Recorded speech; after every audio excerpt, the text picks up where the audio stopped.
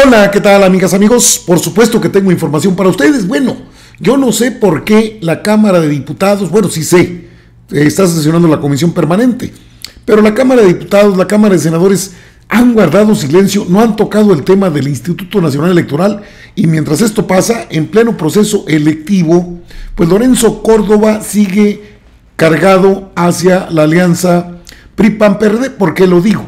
Han bajado varios spots de Morena sigue en su afán del artículo 41, quiere parar las mañaneras, aunque el órgano que regula esto, que es el Tribunal Electoral, también está del otro lado.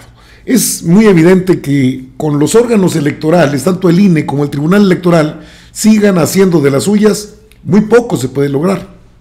Es cierto que hay buenos comentarios y hay señalamientos puntuales, en el caso del diputado Pablo Gómez de Morena, y que es un histórico de la lucha de las izquierdas. Por eso, pero ¿y las acciones cuándo, diputado?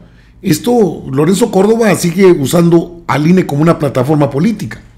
Eh, al servicio de Claudio Jicotenca González, sigue empecinado en quitarle eh, a Morena todo lo que pueda. Y una de las cartas fuertes de Morena, aunque no se hable de partidos, son las mañaneras. ¿eh?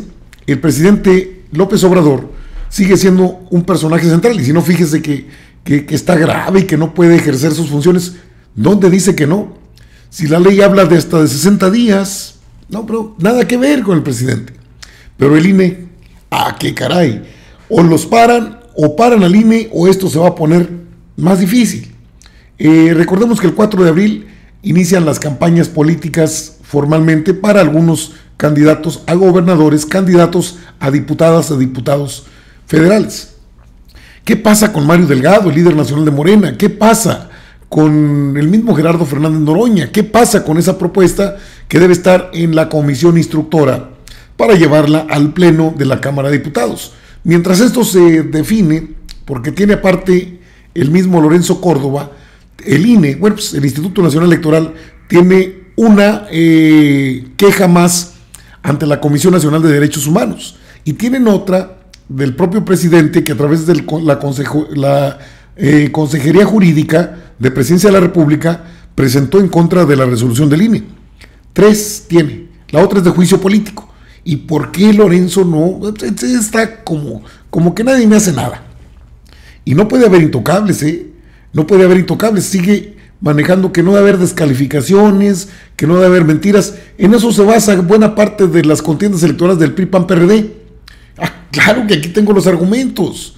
¿Cómo es posible que el consejero presidente del INE mantenga esa postura, ahora sí que radical y de confrontación? Y habla de que la democracia corre peligro. Pues los que corremos peligro somos los ciudadanos, que no tenemos un árbitro que esté independiente a las fuerzas políticas que contienden por cargos de elección popular. Voy a hablar del tema, por supuesto. Lorenzo Córdoba no puede burlarse así del pueblo a menos que sea que el mismo pueblo lo saque de ahí. Y eso ya es bastante grave. Vamos a la información. Oiga, ¿ya se suscribió en este canal? Le, encargo, si le place a usted, suscribirse en ACM Canal 54. Vamos a la información que está interesante como siempre. Mire, Lorenzo Córdoba sigue retando, reta. Escuche usted. De las campañas por venir, atendiendo a los máximos ideales de la democracia y también a las reglas electorales que nos hemos dado y que están explicitadas en primera instancia en el artículo 41 de la Constitución, deberán emanar de estas plataformas y quedar libre en consecuencia de agresiones y expresiones que calumnian a las personas. De eso velará el Instituto Nacional Electoral en atención a su mandato constitucional. Las campañas de propuestas a las que siempre se apela en tiempos electorales no deben estar exentas del contraste de ideas, la polémica, el debate público, la confrontación de proyectos tan intensa como sea necesaria para expresar ante la sociedad esa diversidad y esa riqueza política ideológica que impregna nuestro país. Para eso justamente es la competencia política. Pero para que esta transcurra en clave democrática, es deseable que la discusión se base en ideas, argumentos, información verificada en la medida de lo posible y no la calumnia, la descalificación del contendiente gratuita, la estigmatización y las mentiras propagadas deliberadamente. En tiempos en los que las noticias falsas y la desinformación se erigen en México y en el mundo como amenazas reales en contra de los sistemas democráticos, que evidencian la fragilidad que los sistemas, que estas formas de gobierno tienen. Tendremos la responsabilidad colectiva en este 2021, la oportunidad también de desarrollar campañas electorales a la altura de las expectativas de la ciudadanía, que aborden los grandes problemas nacionales, lamentablemente y dolorosamente aún irresueltos, la pobreza, la ominosa desigualdad, la corrupción, la impunidad, la inseguridad, entre muchos otros. ¿Usted cree desigualdad cuando este hombre tiene 10 asesores que le atienden el tema político, de imagen y demás? Escuche a Pablo Gómez, al diputado. Pablo Gómez, escúchelo y usted tome la mejor decisión. Escuche cómo le tunde, pero sabroso. Y sin embargo, no han hecho nada excepto, claro, en algunos lugares donde ciertos gobernadores falsamente demócratas se han lanzado hace poco contra la juventud que protestaba en las calles de Guadalajara.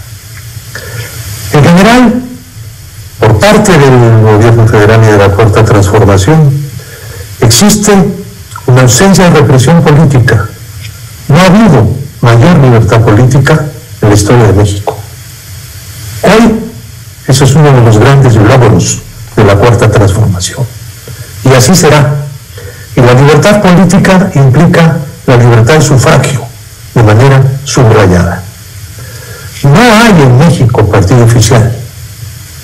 No existe un aparato público que esté trabajando en la presión sobre la sociedad, en la compra de los votos, en todos los mecanismos que usaron en el pasado quienes gobernaron durante décadas. Hoy tenemos una realidad por completo diferente. Se habla de la utilización de la vacuna con propósitos electorales. No se ha documentado un solo hecho en relación con esto. Ni se podrá documentar más que a través de la mentira o de la falsedad, que es lo que usa el Partido Acción Nacional, que no hace otra cosa más que mentir y tratar de proyectar una realidad inexistente con el propósito de sustituir su falta de propuesta y de convocatoria política a la nación. Lo que estamos viendo no es más que eso, un conjunto de patrañas. La vacuna en su llevada al pueblo y a todos llegará, esa es la condición, no podrá ser condicionada a nadie requiere una custodia, porque es un bien muy útil y codiciado. El gobierno tiene que garantizar la custodia de la vacuna por parte de servidores públicos y por nadie más. No la entregaremos a asociaciones privadas para que especulen con ella. Y está abierto que esas puedan comprar vacunas en el extranjero al igual que los gobiernos que han pedido ese acceso, pero que no están dispuestos a gastar un solo centavo en ese empeño. ¿Qué es lo que caracteriza entonces el preámbulo de la contienda electoral? La alianza del PRI con el PAN. Eso es lo que lo caracteriza. Pero en lugar de hablar de eso y darnos explicaciones a la ciudadanía mexicana, los periodistas y los panistas se dedican a lanzar mentiras y a generar un conjunto de falsedades en contra del gobierno actual, en contra de Morena y en contra de la Cuarta T. Pierden el tiempo, porque no pueden explicar sus actos como no sea el de tratar de agarrar un pedazo de poder que han perdido. No es la libertad la que están tratando de conquistar, no es la democracia la que nunca pudieron lograr. No es la ausencia de represión que esa la garantiza la cuarta T. No, es simplemente su ambición, es simplemente tratar de ser opositores sin una causa válida, sin un valor ciudadano, sin una reivindicación popular y nacional. Son lo que siempre han sido, conservadores que a la mera hora se unen para conspirar contra los intereses del pueblo. Esa es la alianza del PRI con el PAN. Y eso es lo que caracteriza, en verdad, inicio de la campaña electoral. Muchas gracias. Es, eh, y es muy importante lo que señala el diputado Pablo Gómez, eh, y es correcto. La vacuna eh, ante una emergencia sanitaria ha sido utilizada como un, un estandarte político. El presidente les quitó ese estandarte, les entregó la facultad de comprar vacunas. Nunca quisieron comprarlas. Dicen que llega demasiado tarde. Bueno, si de verdad existiera la mínima intención de comprar vacunas para regalarlas al pueblo. No hay imposibles. ¿Por qué? Porque pudieron haber hecho trámites con anticipación y poderla comprar. Pero no lo hicieron porque nunca tuvieron esa intención. Son farsantes, junto con el del INE, son farsantes. Los gobernadores, que los, los partidos, hombre, les pidieron apoyo, quitar la mitad de sus prerrogativas para entregarlas a esta necesidad social nacional y nunca quisieron. ¿Por qué no quisieron? Bueno, porque esto representa un gasto muy fuerte.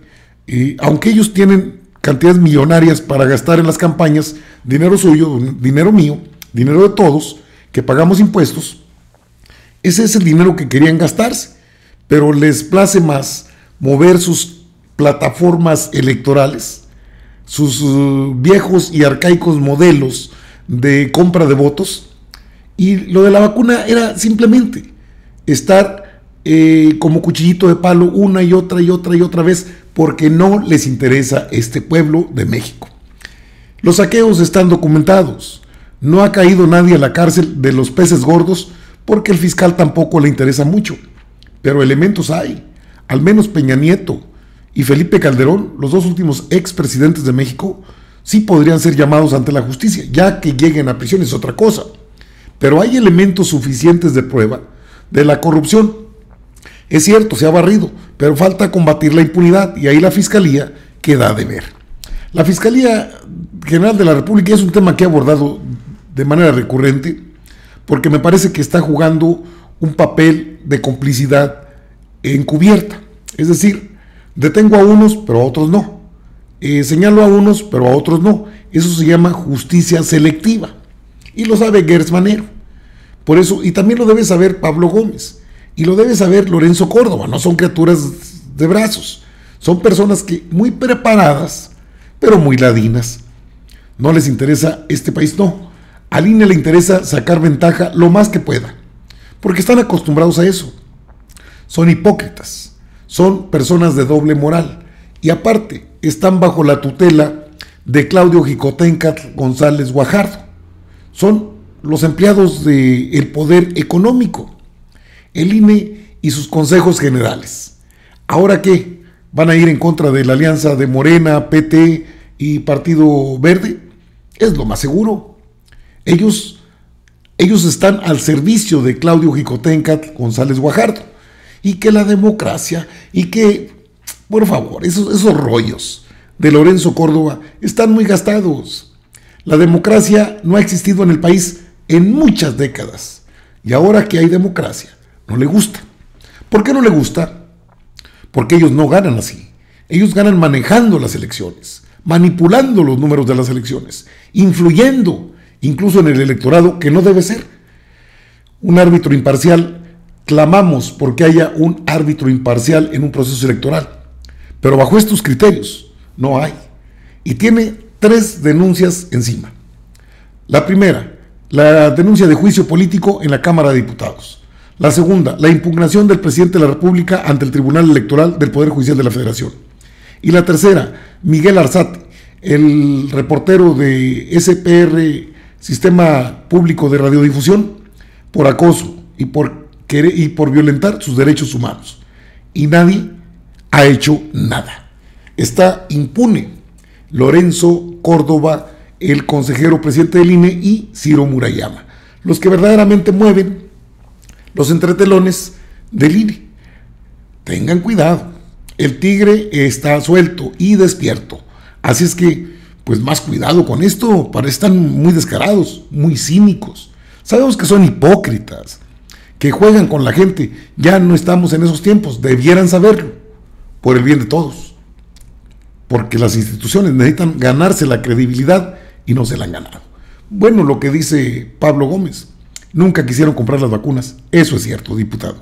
Pero también es cierto que hay una demanda de juicio político en la Cámara de Diputados y creo que es el momento de atorar de una buena vez a este instituto que no tiene ni pies ni cabeza, sino el sesgo político y dados cargados echados a favor de la alianza PRI-PAN y PRD. Amigas, amigos, están informadas, informados aquí en ACM Canal 54, su canal. Yo los veo en la próxima. ¿Les parece? Órale pues, nos vemos.